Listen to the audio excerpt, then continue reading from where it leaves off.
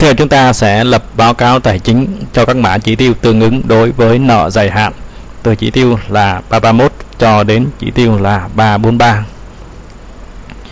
Chỉ tiêu đầu tiên chúng ta sẽ là 331 và chỉ tiêu này thì chúng ta sẽ lấy số dư bên có chi tiết của tài khoản 331 và nó phải là trên 12 tháng hoặc hơn một chu kỳ kinh doanh. Thì như vậy là trường hợp này, chúng ta lấy số dư bên có và chúng ta sang hệ thống tài khoản. Chúng ta thấy là đối chúng ta kéo lên cái mục 331 tương ứng.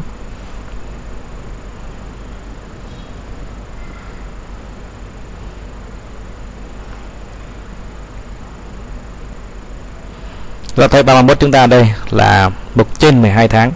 Thì như vậy là mục 331 tương ứng này, chúng ta sẽ đưa vào cái mã về nguồn vốn tương ứng. Nó sẽ là 3312 thì chúng ta sẽ lấy ở 312 và dĩ nhiên là công thức chúng ta cũng đều là như nhau, chúng ta sẽ copy ở trên, chúng ta đưa xuống dưới. Và tương tự, chúng ta sẽ có 332 là đối với mã mà chúng ta sẽ lấy là đối với cái khoản chi tiết bên có 131 và nó là trên 12 tháng như vậy là bên có 131 thì chúng ta sẽ thấy đây là nó cũng đều lấy số dư bên có. Và nó thuộc là 332 là cái khoản mà khách hàng ta ứng trước cho mình. Nhưng mà ở đây là ứng trước mà nó lại trên 12 tháng hoặc là qua một chu kỳ kinh doanh, tức là qua 2 năm tài chính. Thì chúng ta thấy đây là, ví dụ như là chúng ta ứng trước cho chúng ta tháng 10 nhưng mà đến tháng 10 năm sau ta mới, chúng ta mới có hẹn, hoàn thành và nghiệm thu. Mới xuất hóa đơn được. Thì có nghĩa là gì? Là chúng ta cũng mới có thể ghi nhận vào 3, 131 1 thì chúng ta sẽ chuyển đổi sang 131 2 tương ứng. Thì ở đây chúng ta sẽ có 332 thì chúng ta kéo lên đối với tài khoản là 131 thì chúng ta sẽ có cái mục tương ứng như sau. 131 chúng ta cũng phân ra là biết 12 tháng và trên 12 tháng thì chúng ta sẽ đưa vào cái mục là ở trên đây là mã 312 là dưới 12 tháng và ở dưới này thì chúng ta sẽ là trên 12 tháng tương ứng. Và nếu cần thì chúng ta sẽ làm bút toán nghiệp vụ chuyển đổi số dư giống như trên này chúng ta đã lập. Và chúng ta copy về cái tài khoản 1312 chúng ta đưa sang đối với mục tương ứng này. Và chúng ta cũng kéo công thức chúng ta đưa xuống. Là phải thu khách hàng là trên 12 tháng, nhưng ở đây là người ta ứng trước cho mình, nên chúng ta thuộc là cái khoản phải trả. Và mã số 333 là phản ánh về số chi tiết bên có tài khoản 335 và nó cũng trên là 12 tháng. Và chúng ta tương ứng cho tài bên có, và nó là 333 thì chúng ta kéo xuống tài khoản là 335 335 thì chúng ta thấy đây là 315 là cho chi phí phải trả mã là ngắn hạn thì ở đây 333 thì chúng ta mã là dài hạn thì nó trên 12 tháng. Thì chúng ta cũng sẽ copy số tài khoản chúng ta đưa sang. Chúng ta cũng copy công thức trên, chúng ta đưa xuống dưới. Và tiếp theo là phải trả nội bộ về vốn kinh doanh thì chúng ta cũng lấy bên có tiếp tục. Nhưng ở đây là chúng ta được sử dụng bên có đối tài khoản là 361 3361 thì chúng ta sẽ copy luôn 3361 nó là mục chi tiết và nó cũng lấy một mình 3361 mà thôi. Nên chúng ta sẽ copy mã 334 này. Chúng ta sang mục là 3361 tương ứng. Thì 3361 chúng ta không có phân là trên hay dưới, nên chúng ta chỉ cần một mã duy nhất. Tức là chúng ta không cần phải phân nhánh là 33 611 và 33612 mà chúng ta chỉ cần một mã duy nhất cho cái mục là 3361 mà thôi và chúng ta cũng sẽ copy mã tài khoản 3361 chúng ta đưa sang. Thì ở đây chúng ta đã có sẵn. Chúng ta cũng copy công thức ở trên. Chúng ta kéo xuống dưới. Và tiếp theo chúng ta sẽ có mã 335 mã 335 thì chúng ta sẽ lấy số dư bên có chi tiết của lần lượt các cái tài khoản là 3362, 63 và 68 chúng ta cũng đều là bên có. Và cái mã này thì chúng ta cần tới ba mục. Thì chúng ta sẽ chèn là ba mục tương ứng.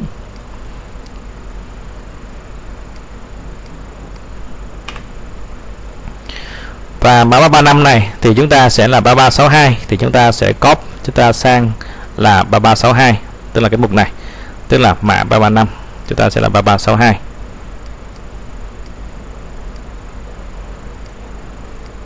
chúng ta cũng copy công thức, chúng ta kéo xuống. Và mục lớn thì chúng ta tương tự, chúng ta cũng chỉ cần copy, chúng ta đưa vào. Và đầu tiên là mục 3362 tiếp theo là chúng ta sẽ có các mục tương ứng khác là 3363 chúng ta cũng là mục của 335 thì chúng ta thuộc là 3363 thì là mục tương ứng này.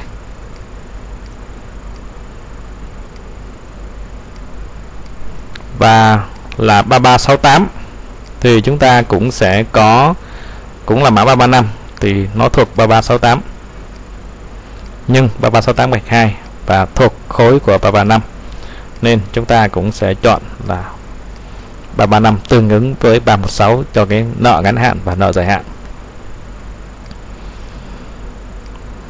Và chúng ta dùng cái hàm sum để chúng ta sum lại cho ba cái mục chi tiết chúng ta vừa tính. Tiếp theo chúng ta sẽ có khoản mục chi tiết cho 336 doanh thu chưa thực hiện dài hạn. 336 chúng ta được lấy ở tài khoản 3387 và nó trên 12 tháng số dư có chi tiết. Thì 336 chúng ta đã có mã bên đây, chúng ta sẽ copy mã 336 chúng ta đưa sang là nó thuộc mục là 3387 thì các bạn thấy ở đây là cái tài khoản chúng ta sẽ là 3387 nhưng nó phải mục là trên 12 tháng. Thì chúng ta sẽ thuộc là 336 và 3387 gạch 2 và số là bên có và chúng ta cũng sẽ có bên trên, chúng ta đưa xuống. Tiếp theo, chúng ta sẽ có khoản mục là 337 mã 337 thì chúng ta cũng sẽ lấy, cũng là là nghiệp vụ thanh toán còn lại là trên 12 tháng hoặc là hơn một chu kỳ kinh doanh. Thì số dư chi tiết của nó sẽ là 338 và ở đây là các các khoản nhận ký quỹ, ký cược dài hạn, cho mượn dài hạn thì các bạn thấy đây, nó là 338 thì chúng ta sẽ phải chèn rất là nhiều cái nghiệp vụ.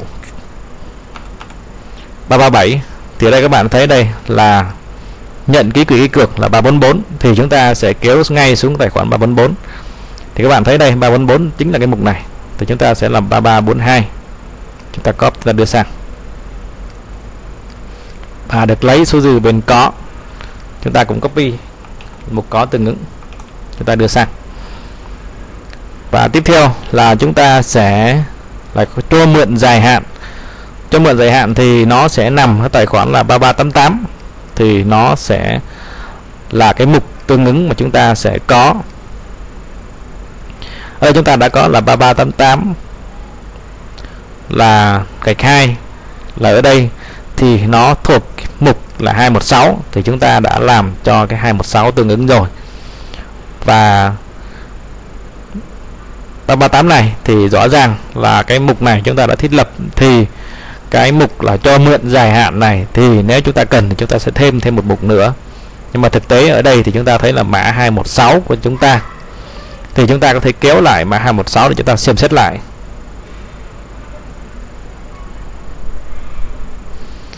Mã 216 của chúng ta là lấy ở các khoản cũng có liên quan đến cho mượn và các khoản thu hồi nhưng mà nó cũng trên là 12 tháng. Tức là nó trên 12 tháng. Thì rõ ràng là mã 216 thì nó trên 12 tháng thì hoặc là hơn một chu kỳ kinh doanh. Thì cái mã này chúng ta đã có rồi nên chúng ta là không có thiết lập lại nữa. Nếu chúng ta lập lại nữa thì chúng ta sẽ bị double lên. Hoặc chúng ta phải tạo thêm một tài khoản con nữa là 3388 gạch 3 để tương ứng cho cái phần này. Nên là cái mục uh, chỉ tiêu tương ứng này là 337 thì chúng ta kéo xuống mục 337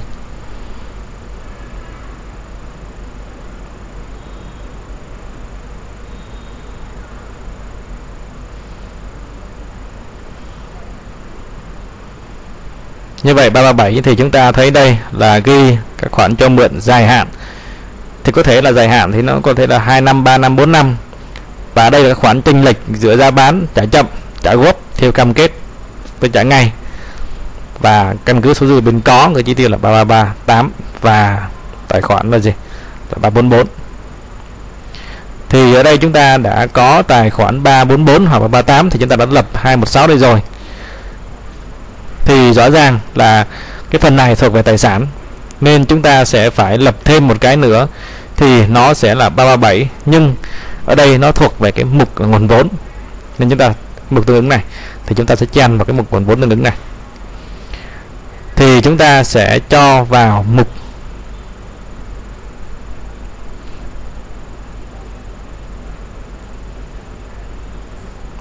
Là 337 thì mục 337 thì chúng ta sẽ 337 của chúng ta là lấy đối với khoản là tài khoản 3388 nhưng mà cho mượn này nó phải là trên 12 tháng nên chúng ta là ở cái mục cột là mã số tài sản, nên chúng ta sẽ là 3382 như bình thường. Chúng ta đưa vào 382 và nó sẽ nằm một số dư bên có. Và chúng ta chỉ có mình cái hai tài khoản này, nên chúng ta sẽ xóa bớt đi một tài khoản tương ứng. Chúng ta sẽ sum hai giá trị lại.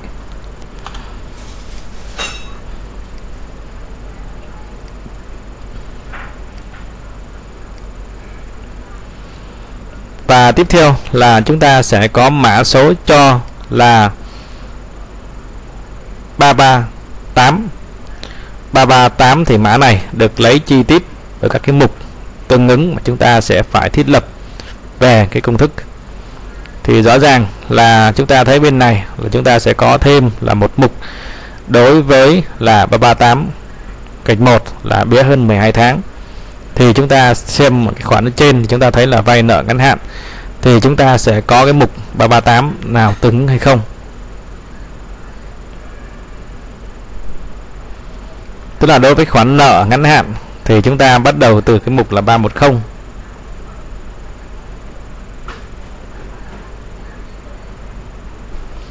và mã 310 chúng ta thấy ở dưới đây là hoàn chúng ta kiểm tra lại xem có cái mục nào có liên quan đến tài khoản là 338 mà chúng ta thuộc là dưới là 12 tháng hay không? Thì mã số 319 các bạn thấy đây là các khoản này bảo hiểm xã hội, bảo hiểm y tế, các khoản ký cược, ký ký cược ngắn hạn và lại có thêm mục là 3 chấm. Thì rõ ràng là cái mục này là thuộc mã số 319 thì như vậy là mã 319 thì chúng ta cũng phải thêm tiếp số liệu vào. Thì chúng ta thấy, chúng ta kéo xuống dưới, chúng ta thấy đây là mã 319 thì mã 319 này thì nó ngoài cái 34 344 gạch 1 thì chúng ta còn thêm một cái cột nữa. Tức là chúng ta sẽ có thêm một cái mục 319 chúng ta copy sang cái mục là đối với 338 3388 nhưng mà nó thuộc là bé 12 tháng. Và chúng ta sẽ thuộc là mục 338 gạch 1 tương ứng.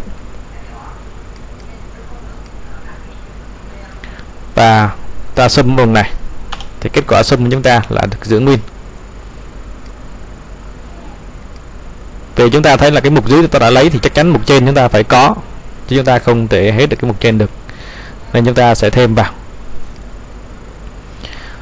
Và đối với cái mục mà chúng ta đang lên tiếp tục, đó là cái mã số tiếp theo là tài khoản 337 thì chúng ta kéo xuống cái vùng 337 tương ứng.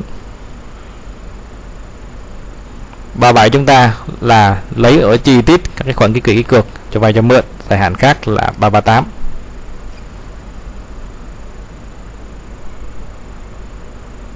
và 338 thì ở đây nó được hiển thị. Như vậy chúng ta chỉ lấy một nghiệp vụ, đó là 338 phải khai mà chúng ta sẽ không lấy thêm ở cái phần nghiệp vụ khác liên quan đến bảo hiểm. Vì các khoản liên quan đến bảo hiểm thì nhà nước không bao giờ cho chúng ta về cái nghiệp vụ là chúng ta nợ bảo hiểm lâu dài. Chúng ta nợ thì chúng ta sẽ bị phạt và bị chậm, hoặc chúng ta bị thanh kiểm tra để chúng ta bị truy thu lại. Nên không có chuyện là chúng ta sẽ nợ thời hạn được. Nên đối với tài khoản loại 3 mặc dù chúng ta là để chống ở trên 12 tháng, nhưng chúng ta cũng không thể để các cái mục tương ứng được mà chúng ta cho được, nên là chúng ta sẽ xem như đây là cái mục. Còn nếu không thì chúng ta sẽ vẫn thêm được như bình thường là trong các cái mục. Nếu trường hợp là nợ bảo hiểm dài hạn và thông thường thì nợ bảo hiểm dài hạn chắc chắn là cái điều nó sẽ không có xảy ra, nên chúng ta là sẽ không cần thiết lập thêm cái phần tương ứng này. Tiếp theo chúng ta sẽ thiết lập cho mã 338 và mã 338 này thì chúng ta sẽ lấy chi tiết ở cái số dư, đó là tài khoản 341 và 341 này thì nó phải trên là 12 tháng. Thì chúng ta sẽ kéo sang, chúng ta sẽ có là 341 tương ứng. Thì các bạn thấy đây là mã 341 và cái điều kiện của nó là nó phải trên là gì? Nó phải trên là 12 tháng. Và rõ ràng các khoản này là các khoản liên quan đến là vay và nợ thuê tài chính. Và mã 341 này thì chúng ta thấy đây là chúng ta sẽ có hai khoản, là một khoản vay, một khoản là nợ thuê tài chính. Và được lấy ở dạng tổng hợp thì các bạn thấy đây là bên có chi tiết của 341 tài khoản 341 341 chính là cái mục này thì chúng ta sẽ thấy là chúng ta sẽ phải chèn ra là hai hàng hai hàng thì chúng ta đều lấy số dư là số dư bên có bên có thì các bạn sẽ thấy là ở đây là nó trên 12 tháng nên chúng ta sẽ có 341 thì chúng ta thấy bên này là chúng ta sẽ có cái mục tương ứng chúng ta copy luôn cả hai cái mục chúng ta đưa sang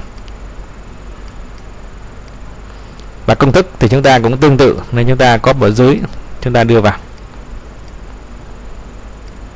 đó là có tài khoản 341 và mã đây là mã 338 thì chúng ta thấy đây, chúng ta đưa vào, chúng ta cũng chi tiết cho mã 338 và tiếp theo là chúng ta sẽ phải lấy là kết quả tìm được của chỉ tiêu số dư, đó là ở cái tài khoản là 343 343 thì chúng ta sẽ thấy là và đối với cái mã 341 thì các bạn thấy ở đây là ở phần trước về ngắn hạn thì chúng ta là không biết được chính xác là cái khoản này thì nó sẽ là ngắn hạn hay là nó sẽ thuộc là các khoản mục về dài hạn.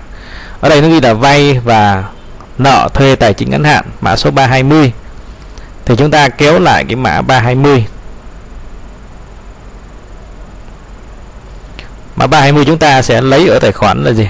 Là 341 và 34311 thì như vậy là chúng ta đang ở phần này. Rõ ràng là chúng ta đang lên thiếu, nên chúng ta sẽ phải chèn lại.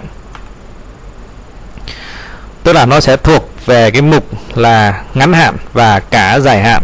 341 đây là không quá 12 tháng. Thì như vậy chúng ta sẽ copy cái vùng ở trên này, chúng ta sửa lại. Và số hiệu tài khoản thì chúng ta, đây, chúng ta sẽ xóa đi như vậy ở đây là 3 4 3 1 1 là cho cái mục không có 12 tháng. Và chúng ta còn phải thêm một cái nữa là 341 nhưng mà cái khoản vay này là nó cũng không quá 12 tháng tương ứng. Mà 341 thì chúng ta thấy đây là chúng ta sẽ có hai tài khoản tương ứng. 341 là có khoản vay, khoản đi vay và nợ thuê về chính. Thì như vậy là chúng ta sẽ phải là chèn thêm hai mục.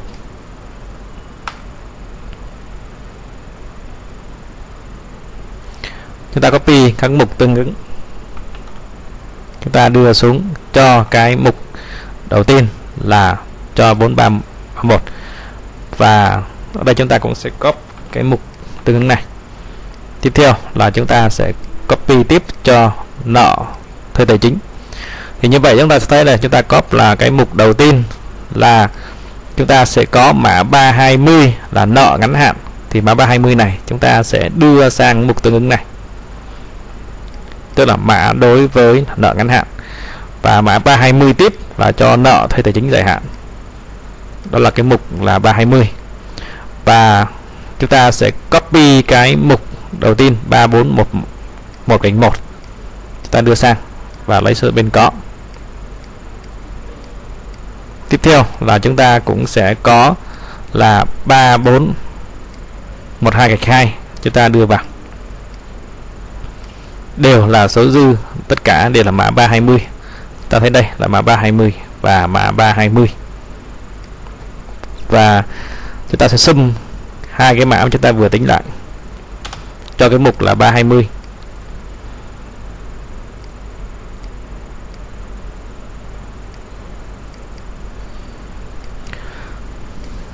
và tiếp tục là chúng ta sẽ phải kéo xuống cái mục tương ứng cho cái mục là 338 mà chúng ta vừa lập. Đây là 338 thì chúng ta sẽ kéo sang cái mục là 338 thì nó sẽ là tay mà nợ thuê tài chính dài hạn. Thì 338 này chúng ta cũng sẽ đưa sang. Thì rõ ràng là nó sẽ thuộc cái mục là gì? Là 34112 34112 và tiếp tục là 338 thì chúng ta sẽ copy tiếp dưới này là 3412 gạch 2 thì như vậy là chúng ta mới lên đủ được cho hai cái mục của chúng ta. Mã số 338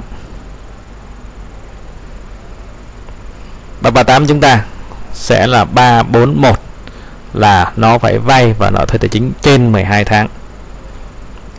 Và tiếp theo là chúng ta sẽ lấy là hiệu số lần lượt của các cái mục tương ứng cho cái tài khoản là 3431 thì chúng ta sẽ chèn tương ứng như sau.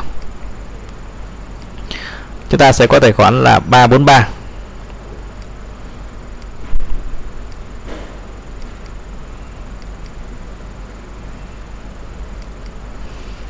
343 thì 343 thì các bạn sẽ thấy đây là cái mã cho trái phiếu phát hành. Và chúng ta sẽ lấy như sau. Thì ở đây là kết quả sẽ là 34311 thì chúng ta sẽ kiểm tra lại 34311 là cái mục nào. Thì chúng ta thấy là 34311 là cái mục này, là trên 12 tháng. Thì nó cũng thuộc cái mục của 338 tức là 34311 trên 12 tháng này, chúng ta đưa sang cho cái mục đầu tiên.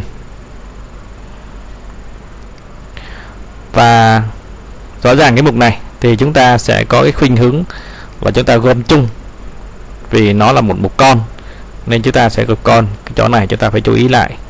Đấy. và chúng ta sẽ cho mục chú ý trong đây. Và mục thứ hai là dư nợ đối với 34312 trên 12 tháng.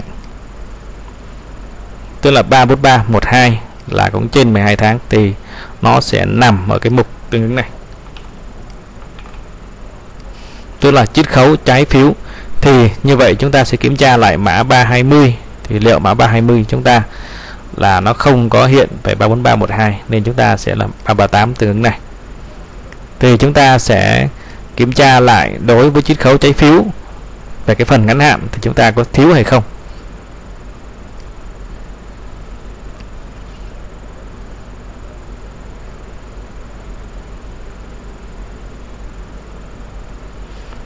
Thì đối với cái tài khoản và 343 về trái phiếu thì chúng ta thấy trên đây là đối với khoản ngắn hạn thì rõ ràng là chúng ta thấy là nó không có xuất hiện. Nó chỉ vay và nợ thuê tài chính là ngắn hạn 320 mà thôi. Và các khoản khác thì nó thuộc về 171 chứ nó cũng không có liên quan. Nên ở đây là chúng ta có thể là bỏ qua được.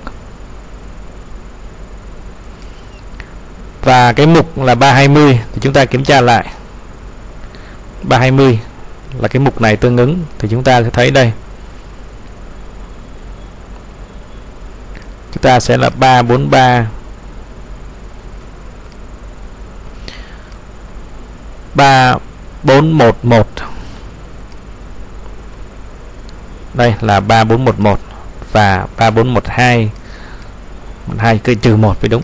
Đây là 3412 trừ 1 thì chúng ta mới đúng về số hiệu của nó đó là vay và nợ thuê tài chính ngắn hạn.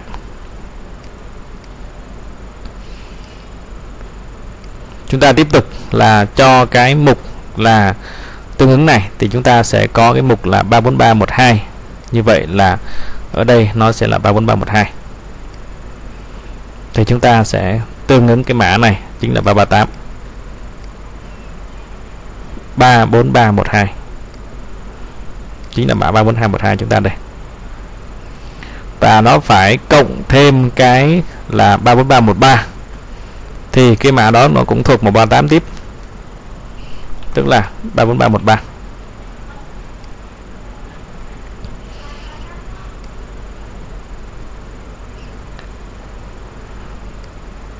như vậy chúng ta sẽ copy hai cái mục này chúng ta đưa sang.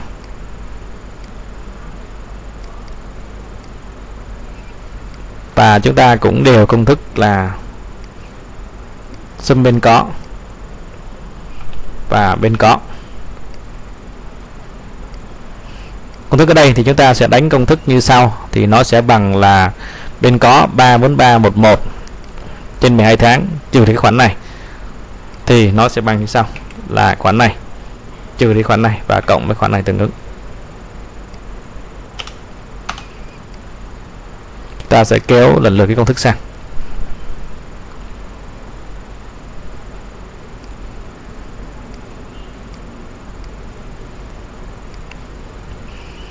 Và cái mục này thì chúng ta sum, thì chúng ta chỉ nên sum là chúng ta sẽ sum vùng này. Sum đến giới hạn của ba cái cột đầu tiên mà thôi. Ta sẽ kéo công thức sang.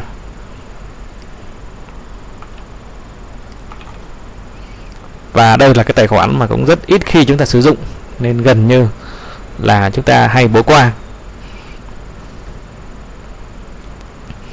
Vay và nợ thuê tài chính dài hạn thì chúng ta, đối với tài khoản 343 này, chúng ta rất ít dùng và chúng ta gần như là dùng các cái khoản về đi vay dài hạn thì nhiều hơn.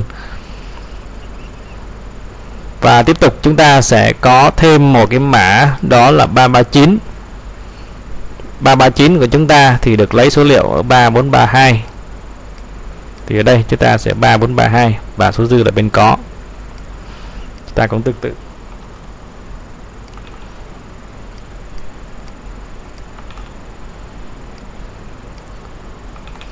ba ba chín và ba bốn ba hai. Chính là cái mục này.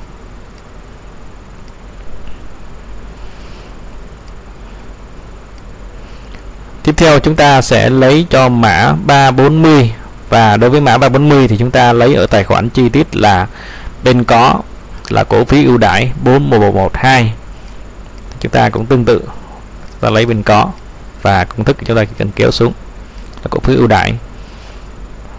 Và tiếp theo chúng ta sẽ có mã 341 341 chúng ta sẽ lấy chi tiết của 347 là thuế doanh nghiệp hoãn lại. Thì chúng ta sẽ có 347 và cũng là chi tiết số dư bên có.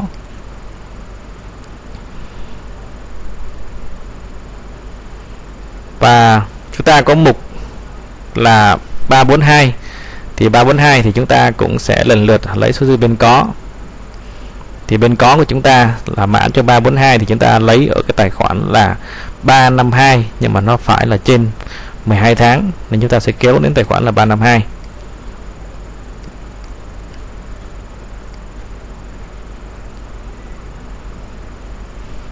352 của chúng ta là cái mục 352 tương ứng này. Và 352 thì chúng ta là nó phải trên. Và ở đây thì các bạn sẽ thấy là nó trên là 12 tháng, nên là chúng ta lại phải, chúng ta sẽ phải chèn thêm một ô tương ứng nữa.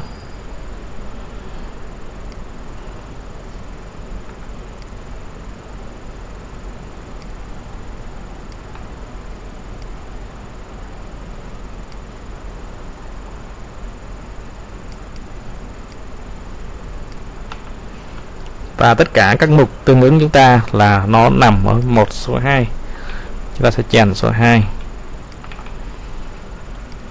và cái mảng của chúng ta sẽ, chúng ta sẽ chèn lần lượt là ba cái tương ứng.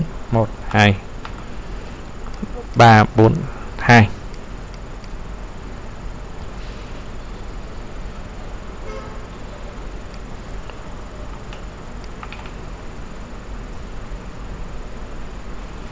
như vậy chúng ta phải có bốn cái hàng thì chúng ta mới đủ.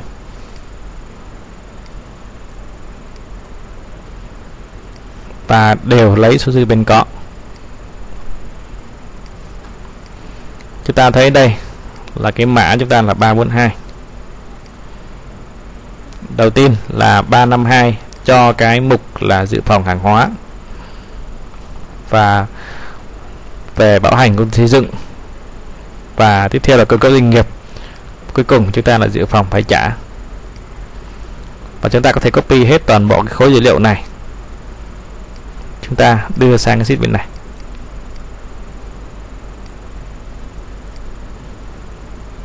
Chúng ta xóa hết dữ liệu này đi. Và sau đó các bạn copy lại.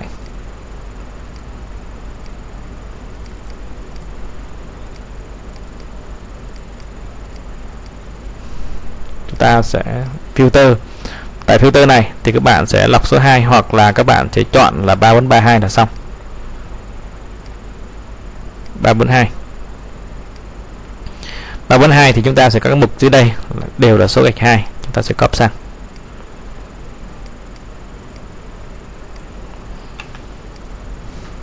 Tức là lấy từ chi tiết đối với tài khoản là 352 cho 4 mục.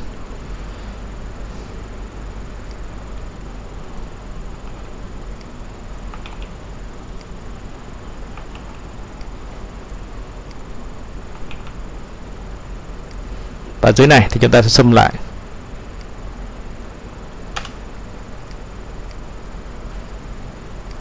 Thì như vậy là 342 thì chúng ta thấy đây là cái mã 342 chúng ta lấy lần lượt là cho các mục.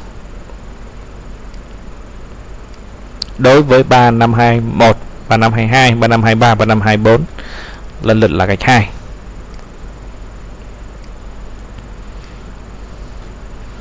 tiếp theo là chúng ta sẽ có cái mã là mã 343 343 thì chúng ta sẽ lấy số dư bên có của tài khoản là 356